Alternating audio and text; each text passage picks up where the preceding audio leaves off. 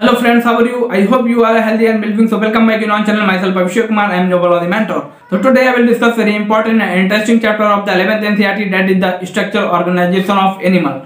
So in this particular video, we discuss which type of animal tissue participate in the forming of animal structure, what is their location and what is their function. So each and everything we discuss in conceptual manners and interesting manner. So I hope you really enjoy this video. So if you like my video, so please subscribe my channel and like share my video with friends. And if you want to join my social media handle, so I provided link in description box and about section my channel. So please go through about section my channel and click the social media icon and join with us. So I hope you really appreciate with me. So watch the video and keep support. Start करते हैं आज का topic so आज का topic है the circulatory system of frog So in this particular video, we discuss about circulatory system of frog. In circulatory system of frog, we discuss each and everything which related to circulatory system. So first we read for written in NCERT textbook. After that, elaborate each and everything with simple and easy manner.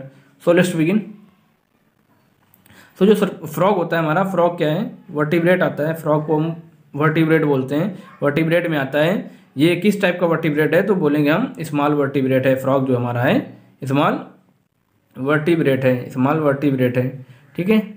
तो verte vertebrate में क्या होगा? Close type का circulatory system होगा। जैसे जैसे advancement होता है तो सारी की सारी चीज़ें अच्छे से फंक्शनेबल हो जाती हैं, अच्छे से फ़ंक्शन करती हैं, और वो एडवांसमेंट में चली जाती हैं। हम लोग में मस्कुलर हार्ट होता है वेल डेवलप मस्कुलर हार्ट होता है क्लोज टाइप का होता है सर्कुलेटरी सिस्टम है ना? उसमें ब्लड वास्कुलर सिस्टम यानी वेसल्स आर्टरीज वेंस वगैरह सारी चीज़ें पाई जाएँगी। तो उसी तरह का इसमें भी है देखते हैं। तो जो फ्रॉक का वास्कुलर वास्कुलर सिस्टम होता है, वो कैसे किस टाइप का होता है। The vascular system of frog is well develop close type है ना, जो फ्रॉक वास्कुलर सिस्टम होता है सर्कुलेटरी सिस्टम होता है, वो वेल डेवलप होता है, वो क्लोज टाइप का होता है, और और उसमें क्या होता है लिम्फेटिक सिस्टम भी पाया जाता है लिम्फेटिक सिस्टम आल्सो यानी लिम्फेटिक सिस्टम भी पाया जाएगा। तो blood vascular system involve blood vascular system में क्या क्या आता है? ब्लड वास्कुलर सिस्टम में क्या क्या आता है? तो blood vascular system involve heart यानी ब्लड वास्कुलर सिस्टम में भाई सर्कुलेशन की बात हो रही है तो heart is the pumping organ जो हार्ट होता है वो pumping organ of the body होता है। यानी वो ब्लड को यानी पंप करेगा और पूरी बॉडी में भेजेगा, है ना? और पूरी बॉडी से ऑक्सीजनेटेड ब्लड हार्ट में जाता है, वहाँ से प्यूरिफिकेशन होता है, उसका ऑक्सीजनेटेड होता है और फिर वो, फिर बॉडी में ट्रांसफ़र किया जाता है, फिर भेजा जाता है। तो ब्लड वास्कुलर सिस्टम में क्या होता है? हार्ट इन्वॉल्व होता है और ब्लड वेसल्स इन्वॉल्व होती हैं और ब्लड इन्वॉल्व होता है। क्योंकि भाई ब्लड ब्लड की ही बात करें ना ब्लड वास्कुलर सिस्टम तो यानी ब्लड वास्कुलर सिस्टम में ब्लड तो कंसाइडर किया ही जाएगा ब्लड तो आएगा ही, उसमें वेसल्स आएँगी ब्लड वेसल्स आएँगी और हार्ट इन्वॉल्व होगा, है ना? लिम्फेटिक सिस्टम में क्या होता है? लिम्फेटिक सिस्टम में क्या होता है? Lymphatic system consist lymphatic system में भाई लिम्फेटिक की बात हो रही है, यानी लिम्फ की बात हो रही तो उसमें लिम्फ तो आएगा ही जाएगा, ठीक है? और उसके बाद क्या आता है? लिम्फ चैनल आते हैं और लिम्फ नोड आते हैं। लिम्फ चैनल और लिम्फ नोड आएँगे। ठीक है लिम्फेटिक सिस्टम में क्या क्या आएगा लिम्फ आएगा लिम्फ चैनल आएँगे लिम्फ नोड आएँगे, ठीक है? और इसमें ब्लड वास्कुलर सिस्टम में आएगा हार्ट आएगा ब्लड वेसल्स आएँगी और ब्लड आएगा, ठीक है? तो क्या इसमें? Heart is muscular structure situated in the upper part of body cavity जो हार्ट होता है फ्रॉक का, वो मस्कुलर स्ट्रक्चर होता है। मैंने बताया था कि जो हार्ट होगा फ्रॉक का मस्कुलर स्ट्रक्चर होगा, है ना? जो कि अपर बॉडी कैप्टी पे सिचुएटेड होता है। कहाँ पे सिचुएटेड होता है? अपर बॉडी कैप्टी यानी बॉडी की ऊपर वाली कैप्टी पे सिटुएट होगा, ठीक है? मतलब यहाँ पे जो उसका ट्रंक रीजन था, ठीक है?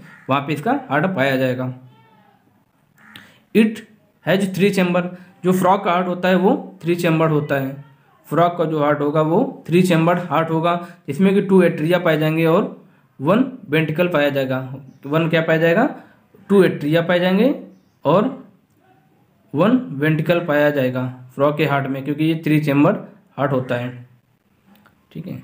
जो इसका जो हार्ट होगा, है ना? जो थ्री चैम्बर हार्ट होगा, वो कवर्ड होता है एक मेम्ब्रेन से, जिसको क्या बोलते हैं? पेरिकार्डियम इसका जो हार्ट होगा, वो किससे कवर्ड होगा? Covered by membrane called pericardium peri का मतलब क्या होता है? पेरी का मतलब होता है चारों तरफ़। पेरी का मतलब होता है चारों तरफ़। और कार्डियम जो वर्ड है, वो किससे लिया गया है? कार्डियम जो वर्ड है, वो लिया गया है हार्ट से।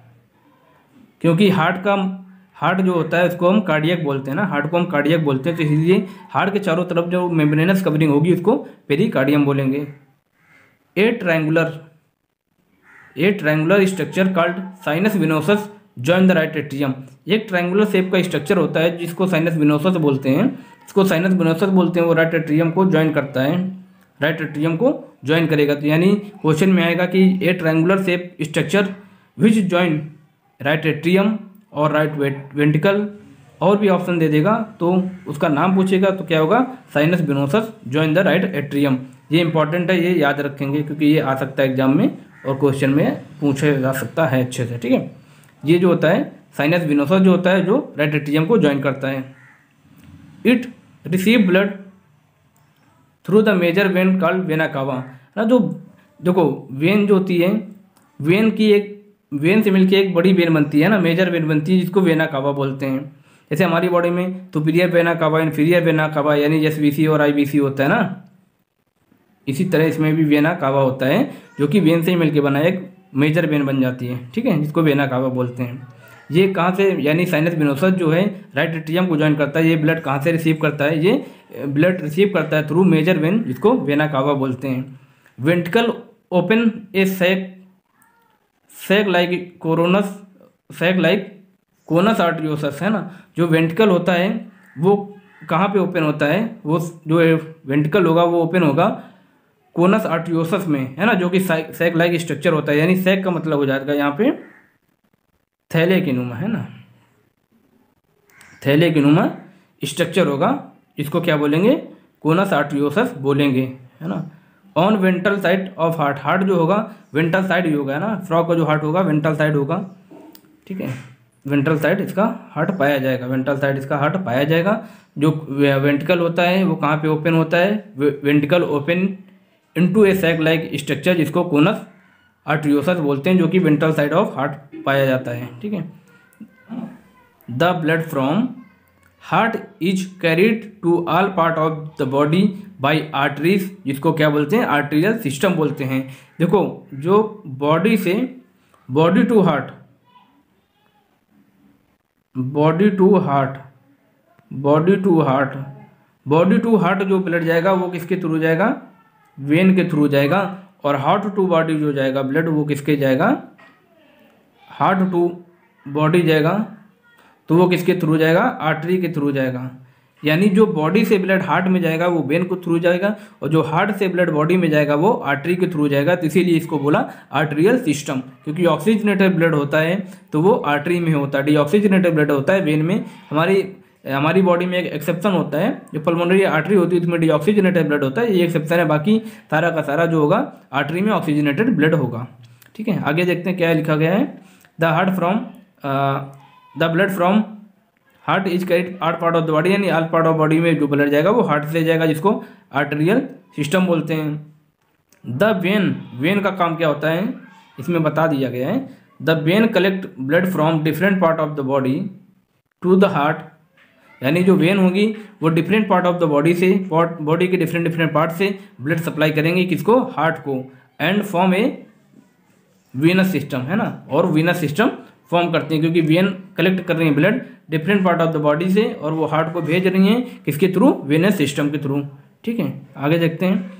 Special venous connection between the liver and intestine जो लीवर और इंटेस्टाइन के में एक स्पेशल वीनस कनेक्शन पाया जाता है तो इसको हम लोग क्या बोलते हैं? Hepatic portal system hepatic portal system बोलते हैं। हिपैटिक पोर्टल सिस्टम बोलते हैं। हिपैटिक पोर्टल सिस्टम बोलते हैं। हिपैटिक का मतलब हिपैटिक जो वर्ड होता है, वो लीवर से रिलेटेड होता है। है ना? लीवर से रिलेटेड होता है हिपैटिक वर्ड तो इसके बीच में कनेक्शन पाया जा रहा है।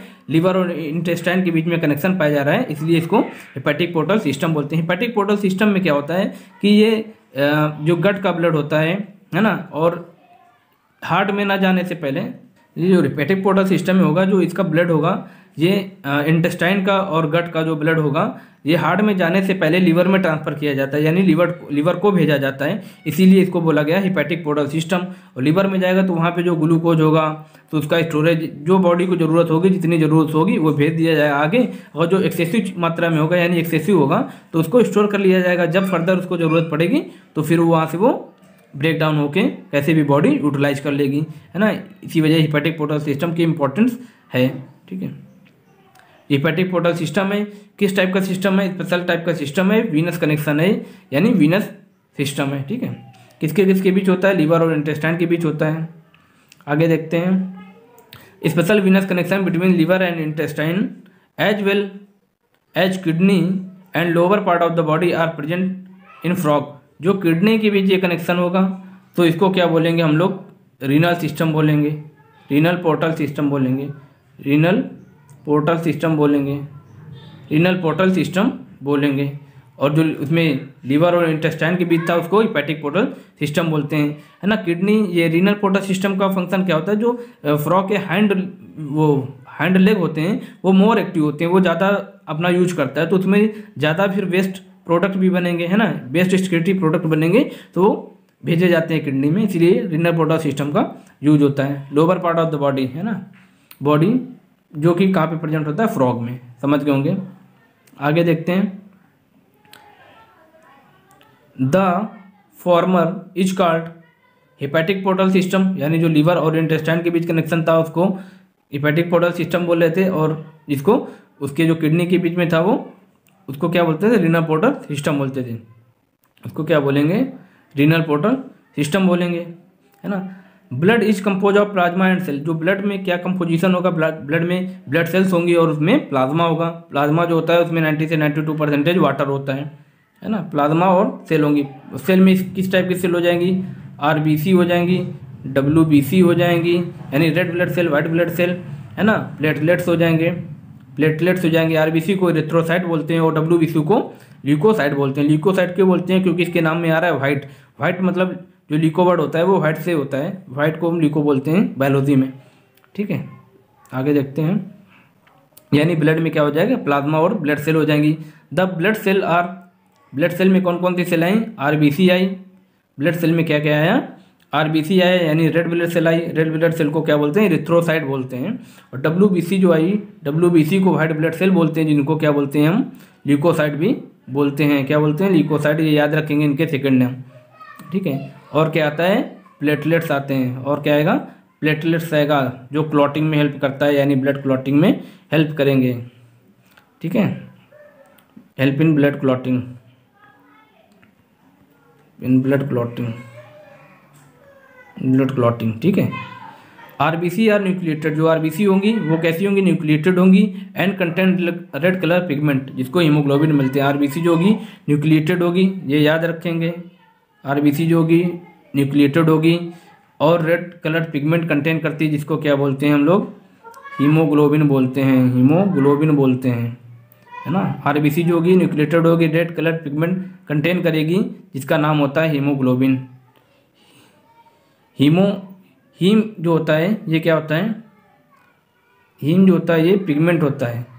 ये पिगमेंट होता है और जो ग्लोबिन होती है, वो प्रोटीन होती है। हीम जो पिगमेंट और ग्लोबिन जो है ये प्रोटीन है तो दोनों मिलके हीमोग्लोबिन बनाते हैं।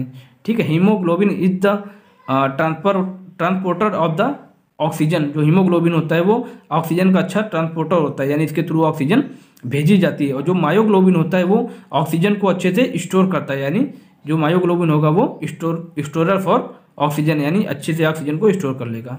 ये डिफरेंस होता है दोनों हीमोग्लोबिन और मायोग्लोबिन में। आगे चल के मैं बताऊँगा आपको अच्छे से, ठीक है? फ़िलहाल इतना था, जान लो।